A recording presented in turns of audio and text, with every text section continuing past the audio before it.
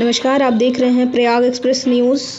बड़ी खबर हम आपको दिखा रहे हैं बांदा से, जहाँ बांदा जनपद के कोतवाली देहात अंतर्गत ग्राम लामा निवासी पवन कोरी की लवारिस अवस्था में शव मिला हुआ है।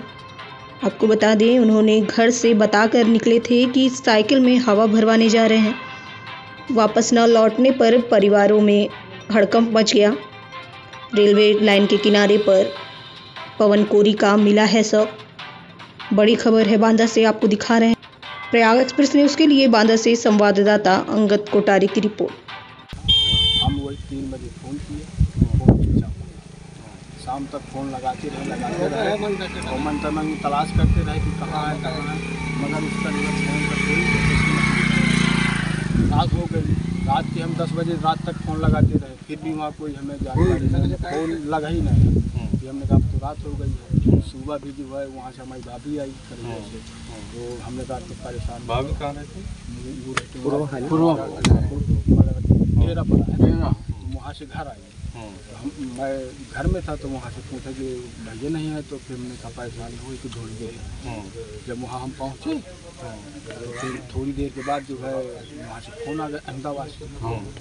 उसका एक मित्र रहता था अहमदाबाद में वो जो है करीबन मई के महीने में चला गया है। वो कमा के आया दस पंद्रह दिन रहता है यहाँ। उसके बाद चला जाता है अहमदाबाद तो वहाँ से वो उसका फ़ोन आया जब वहाँ पुलिस वाले पहुँचे जो बाटी देखा और मोबाइल वोबाइल और मतलब सलाद की जो शीशी उसी मिली ती, जो तीन तो शीशी मिली एक गिलास पानी का बाटल मिला।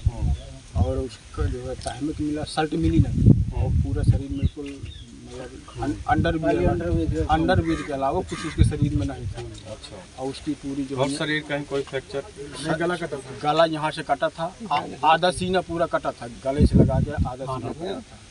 जब मतलब वहाँ गया थाने वाले जो कुछ हमने उनसे पैर वैर हाथों में कुछ हाथ बिल्कुल ऐसे टूट के बिल्कुल मुरेट दिया गया था कि ऐसा ए, एक ऐसे टूट गया। फ़ोटो वगैरह कुछ खींचे हैं? कान कटा था। हमारे भाई साहब के उसमें है। कान कटा है कान वान सब कट गए हैं। यहाँ पैर यहाँ यहाँ भी घाव है। हाँ बहुत अच्छा देखने लायक ऐसा होगा कुछ लोग उसको ट्रेन के सामने हो सकता है। है। मुझे तो सर लगता है पहले उसको मारा गया। मारने के बाद ट्रेन के पटरी के सामने लेटाया गया कि जब ट्रेन आएगी तो ये ट्रेन हादसा जो है हो, हो जाएगा और मट्टी भी बेकार हो हाँ जाएगी बेकार हो जाएगी।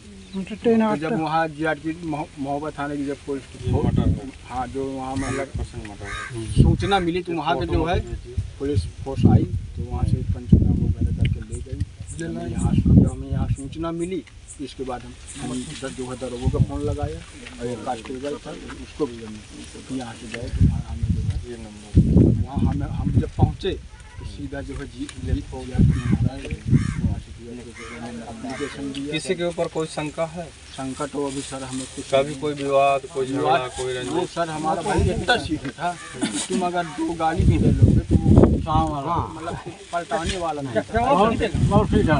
आदमी अच्छा था और सीधा था ना नशा पत्ती कोई उसका कोई नुकसान भी खेत में करते तो किसी को मतलब गाली गलौज नहीं करते भाभी वगैरह का हाँ किसी से मतलब हाँ? वो मतलब गर्म दिल से किसी से बोलता नहीं। हाँ। इतना सीधा है। और उसको बड़ी बुरी तरह से कोई नाता पत्ती पट-